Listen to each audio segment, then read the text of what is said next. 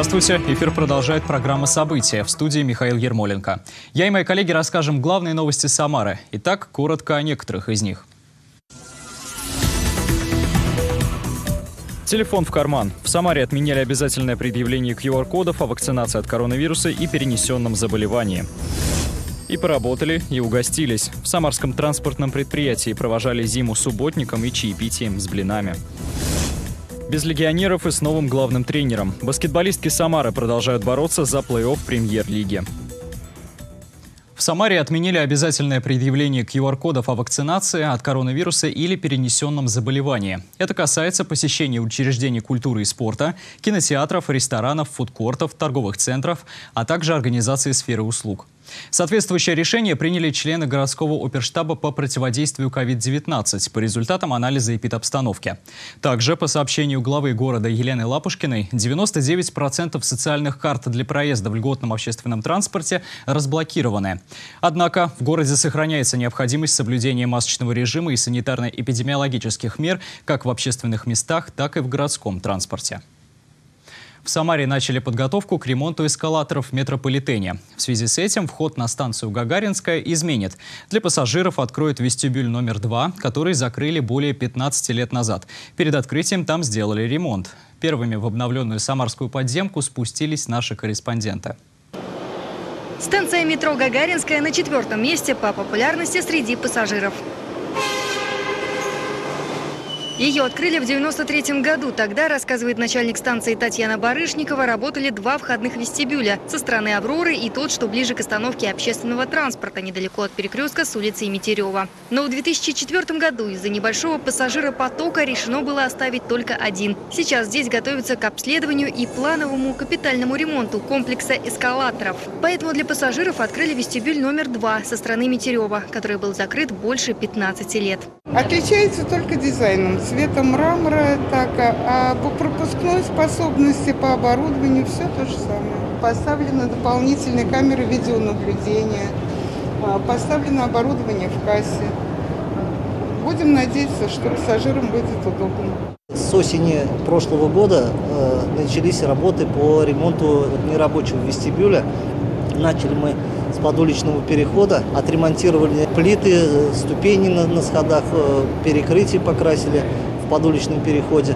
Вот, и потихоньку уже перешли вот, э, в кассовый зал. В самом вестибюле номер два отремонтировали плитку, покрасили потолок, также привели в порядок технические и служебно-бытовые помещения. В планах по обновлению эскалаторных групп в вестибюле номер один заменить часть отслужившего оборудования на новое. Чтобы пассажирам было удобно и была возможность пользоваться станцией Гагаринская, у нас открывается второй сход, э, который расположен э, в районе автобусных остановок Э, напротив проезда Метерева. Это даже будет немного удобнее для пассажиров, которые пересаживаются с автобусов, потому что второй сход у нас расположен в районе автобусных остановок, соответственно, людям будет проще совершать э, свои передвижения по городу.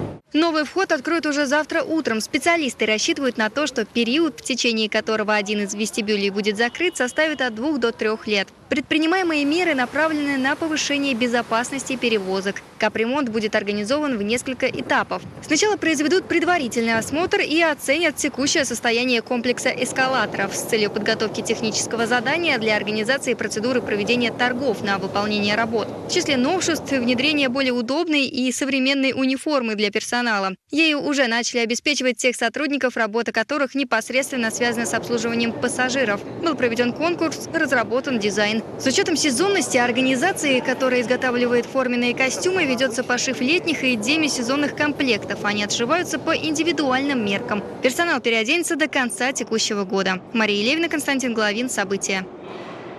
И поработали, и угостились. На Самарском транспортном предприятии проводили зиму субботником и чаепитием с блинами. А для подвижного состава провели водные процедуры и дезинфекцию. Подробности в репортаже Марии Левиной. Водные процедуры для общественного транспорта Самары проводят члены личного состава предприятия, кондуктора, водители, слесари. Алексей Агишев последние три года трудится слесарем-механиком, а до этого 33 года работал водителем автобуса. Сегодня он бережно обрабатывает дезинфицирующим раствором подвижной состав, начинает с водительской кабины. Особое внимание уделяет контактным поверхностям. Мне механик дал задание обработать автобусы. Сейчас автобусы обработаем и пойду опять заниматься своим делом. Ну, я всю жизнь в транспорте. Это каждому свое, мне кажется. Для меня вот техника. В автопарке транспортного предприятия больше 400 автобусов и порядка тысячи сотрудников. После субботников всех, кто принимал в нем участие, пригласили в столовую угоститься блинами. Весеннее настроение, и масленица, и вообще... Весна скоро. Да, да. Приближение весны все-таки нас это немножко радует. Весь личный состав, кто не задействован сегодня в выходе в смену, занят своими прямыми должностными обязанностями. Мойщики и бригада мобильная, они работают, э, отмывают, э, очищают, санитарная обработка идет каждого состава. Следующий субботник здесь планируют провести перед майскими праздниками. Тогда сотрудники транспортной компании будут заниматься уборкой территории, сажать цветы и проводить влажную уборку подвижного состава. Ольга Павлова, Мария Левина, Константин Головин. События. Праздник весны и красоты. В Самарской филармонии прошло торжество в честь наступающего Международного женского дня. Губернатор Дмитрий Азаров поздравил женщин, которые добились успехов в сферах здравоохранения, образования, культуры и социальной политики. Андрей Гургуленко продолжит. Альбина Чувикова поднимается на сцену Самарской филармонии, чтобы из рук губернатора получить почетную грамоту. Она работает фельдшером скорой помощи Клявлинской центральной районной больницы. За время пандемии Альбина оказала медицинскую помощь более 250 пациентам с коронавирусом. Год прошел очень плодотворно, скажем так. Людям хотелось очень много помочь. Э, старались, день и ночь работали. И то, что нас сюда пригласили, это, наверное, огромная оценка нашего труда. И мы очень благодарны за это. Всего на торжестве в честь наступающего праздника Международного женского дня губернатор вручил награды 10 женщинам за успехи в сфере здравоохранения, образования, социальной защиты населения и культуры. А почетного гражданина Самарской области Евгению Аршлутову Дмитрий Азаров отметил знаком «За служение людям» и поздравил народного учителя СССР прямо в зрительном зале. Дорогие, очаровательные, милые, заботливые, профессиональные, ответственные – не безразличные, великодушные. Все это о вас, о замечательных женщинах Самарской области. И для меня, конечно, большая честь сегодня в вашем лице поздравить всех, всех, кто украшает Самарскую область по-настоящему. В продолжении торжества для собравшихся в зале подготовили праздничный концерт. Андрей Горгуленко, Василий Колдашов. События. С букетом цветов и теплыми пожеланиями на улице областного центра к жительницам Самары вышли члены общественного совета МВД города. Как отреагировали девушки на неожиданный сюрприз, расскажет Максим Магомедов. Мы от общественного совета МВД поздравляем вас с наступающим праздником Спасибо. 8 марта.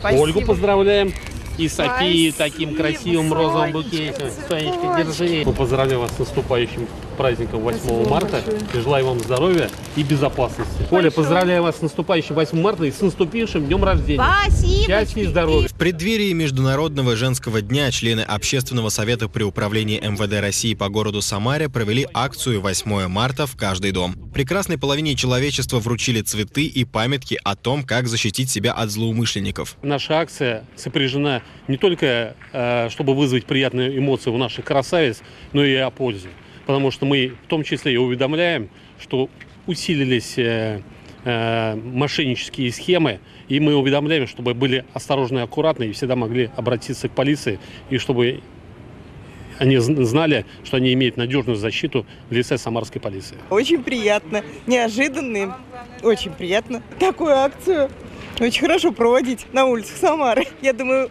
девушкам, женщинам всем будет очень приятно. На самом деле поднимает настроение, Сразу так радостно на душе по-весеннему. Поздравляю всех красивых жительниц нашего города и вообще жителей женского пола с наступающим праздником. А, желаю всем а, поддерживать доброту, хорошее настроение и быть любимыми. Поздравить девушек вышли и сотрудники кинологической службы. В этом им помогал пес по кличке Окс. От красоты самарчанок он немного нервничал, но задачу в итоге выполнил на отлично. После чего вместе с напарником отправился на служебное задание. Максим Магомедов, Николай Сидоров. События.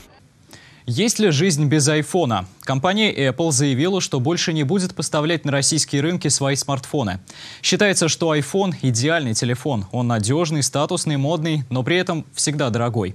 Чем можно заменить яблочное устройство? Удастся ли при этом сэкономить? И придется ли жертвовать качеством? Расскажем в нашем сюжете. Вот этот первый, да. Потом у меня был еще один шестерка. Потом после шестерки у меня э, получилось так, что папа отдал свой 4S. Это как бы откат, но ничего, как бы нормально тоже походил с ним. Потом у меня еще была пятерка, была э, 7 плюс, 8 плюс, и вот iPhone 10 у меня был, и потом уже 11. А, нет, не 11, а 12, да. Никита Колосов, фанат айфонов, свой первый аппарат хранит до сих пор. Его подарили родители в честь начала учебного года, когда Никита еще учился в школе. С тех пор молодой человек предпочитает только яблочные смартфоны.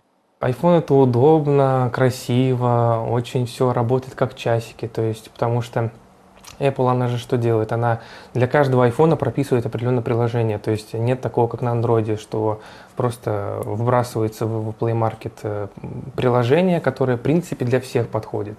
Для айфонов тут по-другому. Теперь Никита опасается, что новый телефон перестанет работать. Однако не все самарцы разделяют беспокойство Никиты, в том числе и владельцы айфонов. Говорят, готовы к любым неожиданностям. Если вдруг отключат айфоны и превратятся в кирпичи, ну, наверное, вспомним прошлое и воспользуемся кнопочными телефонами. Nokia 3310. Я не переживаю, что не будет айфонов. У меня их никогда не было, я никогда не стремился купить. Меня совершенно устраивает мой смартфон. Отлично жила без айфона и не, каче... не расстраиваюсь. Я думаю, что есть другие модели телефонов, которым можно пользоваться. Данил Лишенко много лет работает в сервисном центре, занимается ремонтом телефонов. Говорит, продавцы знают только о достоинстве моделей, а слабые места, по которым можно судить о качестве, известны лишь тем, кто технику ремонтирует. Данил уверен, паниковать по поводу исчезновения яблочных телефонов с российского рынка не стоит. Айфоны – аппараты премиального сегмента, позволить себе их могут не все. Тем более, что достойные фирмы есть и в более доступной ценовой категории. К примеру, Samsung. Компания является мировым лидером по производству и реализации смартфонов. У них есть качественные линейки S20, оснащенные камерами высокого разрешения и функциональными возможностями. Весной ожидается презентация новой модели, а уже летом она поступит в продажу.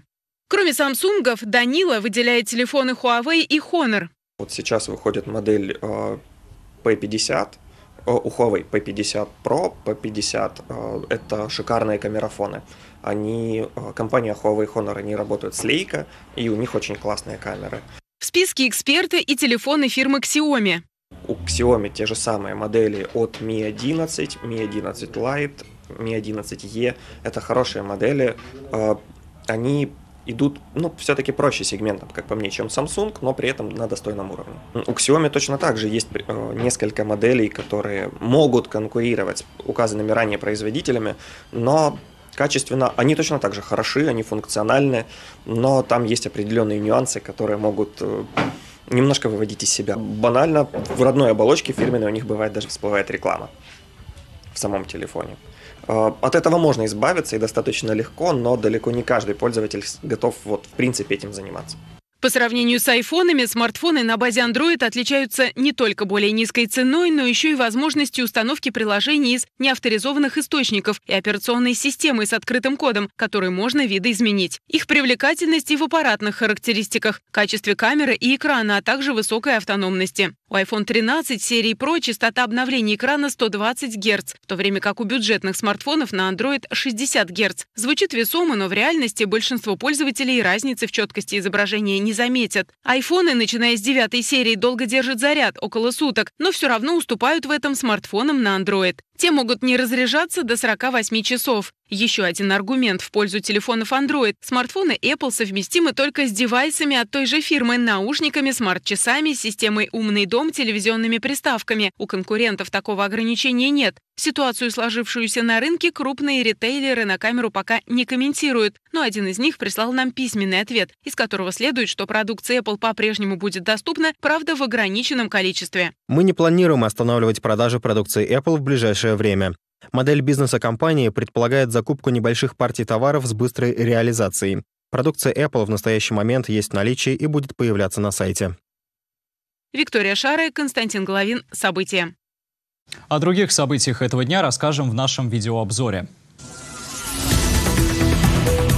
Российские пользователи массово сообщают о сбоях в работе социальной сети Facebook. Об этом свидетельствуют данные сервиса, который собирает информацию о функционировании крупнейших интернет-ресурсов. По состоянию на утро 4 марта соцсети не открываются ни в десктопных, ни в мобильных браузерах. Система выдает сообщение об ошибке доступа. Ранее Роскомнадзор анонсировал введение ограничений на работу Facebook. Решение связано с действиями администрации сети по блокировке аккаунтов ряда российских СМИ. Действия надзорного ведомства согласованы с Генпрокуратурой и Министерством иностранных дел. В Самаре горел дом купца Челышова. Сообщение о пожаре в здании по улице Красноармейской поступило на пульт дежурного 3 марта в районе 5 часов вечера. Прибывшие на место сотрудники МЧС зафиксировали сильное задымление на втором этаже трехэтажной постройки и эвакуировали жильцов. Из дома вывели 16 человек, в том числе пятерых детей. Погибших и пострадавших нет. В тушении пожара был задействован 121 человек и 32 спецмашины. Площадь возгорания составила 80 квадратных метров. Сегодня в Самаре стартует мероприятие, приуроченное к 80-летию со дня первого исполнения легендарной Ленинградской симфонии Дмитрия Шостаковича. Музыкальное произведение представили широкой публике в Куйбышеве 5 марта 1942 года. В субботу 5 марта в оперном театре начнет работу выставка, которая расскажет о создании симфонии. Напомним, композитор начал писать ее в блокадном Ленинграде, а завершил уже в городе на Волге. Кульминацией значимого культурного события станет концерт. Ровно 80 лет спустя повторится история. Так же, как и в 1942 году на сцене Самарского академического театра оперы и балета имени Шостаковича будет звучать седьмая Ленинградская симфония в исполнении оркестра Большого театра России. В Самаре определили судьбой дома номер 84 по улице Чкалова, где, согласно легенде, происходило стояние Зои. Застройщик принял решение передать объект, а также несколько прилегающих к нему зданий Русской Православной Церкви. В будущем здесь планируют создать музейный комплекс. На площадке воссоздадут всю легендарную историю Зои Карнауховой. Проектирование будет осуществляться за счет внебюджетных источников. Параллельно созданием музея разработает механизм обустройства территории рядом с ним. В Самаре стартовал Всероссийский образовательный форум организаторов студенческих событий «Студ Весна Культорге». Творческий слет проходит в рамках большой программы подготовки юбилейного 30-го фестиваля «Российская студенческая весна», который пройдет в Самаре в мае. Продолжит тему Ольга Хамракулова. Эту весну создадут молодые, энергичные и креативные. В Самаре стартовал Всероссийский образовательный форум организаторов студенческих событий «Студвесна. Культорги». Творческий слет собрал свыше 350 участников из 78 регионов России. Мы из Алтайского края, город Барнаул. И Алтайский госуниверситет приехали сюда за новыми классными эмоциями. Да. Привет, я из Смоленска, представляю Смоленский государственный университет. Приехали сюда в Самару для того, чтобы научиться делать классно. Привет, я из Петербурга и приехал в Самару за новыми знаниями. Мы организовываем мероприятия различные на территории университета. Также мы выигрываем гранты, пишем и реализовываем их на территории Челябинской области. Обмен знаниями уже происходит, и мы вроде только первый день, а уже много чего узнали. Творческий слет проходит в рамках программы поддержки и развития творчества «Российская студенческая весна». Этот форум проходит в рамках большой программы подготовки и проведения юбилейного 30-го фестиваля «Российская студенческая весна», который пройдет у нас здесь, на ее родине, исторической родине, в Самаре в мае месяце. А сейчас мы проводим большое собрание тех людей, которые в вузах, колледжах, техникумах со всей страны как раз-таки занимаются развитием творческого потенциала студентов. После сегодняшнего мероприятия по всей стране пойдут волны сначала вузовских этапов, потом э, региональных этапов, потом будет формироваться сборная команда региона, которые приедут сюда на юбилейный 30-й фестиваль «Российская студенческая весна». Для этого сейчас проходит установочное совещание с руководителями дирекции, региона, региональных дирекций студенческой весны. И впервые мы в этом году решили собрать культургов, которые занимаются организацией именно вузовских этапов студенческой весны. Участники форума – культ-организаторы, директора студенческих клубов, руководители творческих коллективов и специалисты по образовательной работе. Их всех ждут стратегические сессии, мастер-классы и встречи с экспертами российской студенческой весны. Программа поделена на несколько, скажем так, модулей. Соответственно, ребята смогут не только позаниматься образовательным модулем, но и, соответственно, провести очень у них будет насыщенная культурная программа. Действительно, как вы отметили, несколько дней назад в Самаре уже стартовал всероссийский конкурс «Краса студенчества» студенчества России. И уже буквально завтра начнет свою работу также еще семинар совещания руководителей региональных дирекций Российской студенческой весны. Поэтому у нас такие, можно сказать, большое одно мероприятие, которое в себя включает три таких глобальных события. Фестиваль продлится до 7 марта. Ольга Хамракулова, Григорий Плешаков. События. Далее наша традиционная рубрика «Новости спорта». Баскетболистки Самары провели первый матч в обновленном виде. Соглашение с командой расторгнул главный тренер Дмитрий Донсков. Исполнять обязанности наставника будет Александр Гаршин. Также покинули Самару легионеры Дженнифер О'Нил, Тринити Баптист и Саиша Грант Аллен в соответствии с рекомендациями своих стран. Первый матч после этих изменений самарчанки проводили в Новосибирске против местного «Динамо». Начало игры у хозяек не задалось, а потому Самара завладела преимуществом, которое не упускала до большого перерыва. После него самарчанки держали соперниц на расстоянии 5-6 очков. «Динамо» почти сравняла счет в начале четвертой четверти, но большего хозяйки сделать не смогли. 60-48 уверенная победа Самары. Команда поднялась на седьмое место в турнирной таблице. Легионеры покидают российские футбольные клубы. В футбольной национальной лиге больше всего пострадал частный клуб «Акрон» из Тольятти. Дальнейшую работу с клубом не смогут продолжить спортивный директор Кристофер Докерти, технический директор Рамон Трибульеч, руководитель по физической подготовке Алехандро Сеговия Вильчес, тренер вратарей Матео Жугай, тренеры Марко Джорджевич и Ягис Чекем, а также технический директор Академии Уго Клингор. Еще одно изменение коснулось позиции главного тренера. Им назначен Виталий Панов. В бытность игроком 42-летний специалист выступал за Моздок, Автодор, Титан, КАМАЗ, «Орел» и Новотроицкую «Носту». В качестве тренера он работал в КАМАЗе, Крыльях Советов и Ярославском «Шиннике». Последние 9 лет Панов трудился в Астраханском «Волгаре». В четырех последних сезонах он возглавлял команду и смог вывести «Волгарь» в ФНЛ. Хоккеисты Тольяттинской ладьи проводят последние встречи МХЛ этого сезона. Накануне автозаводчане на выезде сыграли два матча против уфимского Толпара. В первом матче соперники обменивались голами в каждом из трех периодов и в основное время определить победителя не смогли. В овертайме забить могли и те, и другие, но на четвертой минуте хозяева все же вырвали победу. 4-3 в пользу Толпара. Вторую игру уфимцы начали активно, но к середине стартового периода игра выровнялась. Во втором игровом отрезке команды вновь обменялись шайбами. А третий период начался с трех шайб от тольяттинцев. Хозяева после этого устроили настоящий штурм чужих ворот и почти спасли игру, сократив отставание до минимума. Но сил сравнять счет не хватило. 4-3 в пользу ладьи. Тольяттинцы уже не претендуют на выход в плей-офф. У команды осталось два матча против Молота. На этом выпуск подошел к концу. Впереди вас ждет еще один сюжет на правах рекламы. Всего доброго и до встречи. «Я послал тебе черную розу в бокале золотого, как небо», – писал Александр Блок. А она поняла все без слов, потому что умела читать язык цветов. Этот романтичный способ коммуникации сложен и понятен не каждому. Но если букет подарен от души, то услуги переводчика не потребуются. Цветы могут рассказать о многом, и из цветов можно составить стихотворение, а можно и целый роман. Дарите женщинам цветы? Нет. А что так? Это трата денег. Да, жене. Какие чаще всего дарите? Ну, что попадется, тюльпаны полевые. Она ромашки любит. Не знаю, поэтому 45 лет и живет со мной. Да. А часто вообще? Ну, пож... достаточно. А какие чаще всего дарите цветы? Розы. Угу. А с чем это связано? Вот от девушки зависит, какой цветок вы ей подарите? Я бы не сказал, что это зависит от девушки. Это, это связано с тем, наверное. Ты что, хочешь сделать приятным человеку, который делает тебе приятно?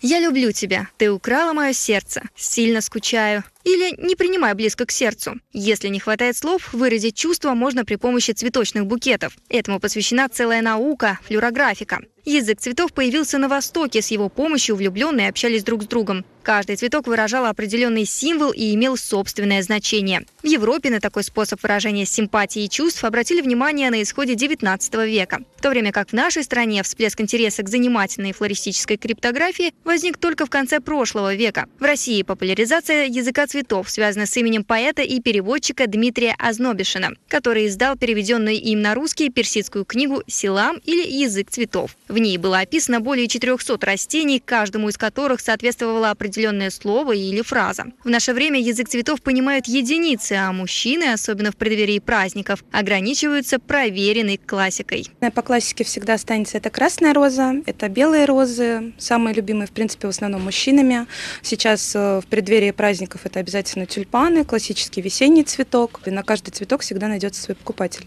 Цветы во все времена считались и считаются самым лучшим подарком к любому празднику. Большой ароматный букет может сотворить настоящее чудо и поднять настроение. Мария Левина, Константин Головин, Григорий Плешаков. События.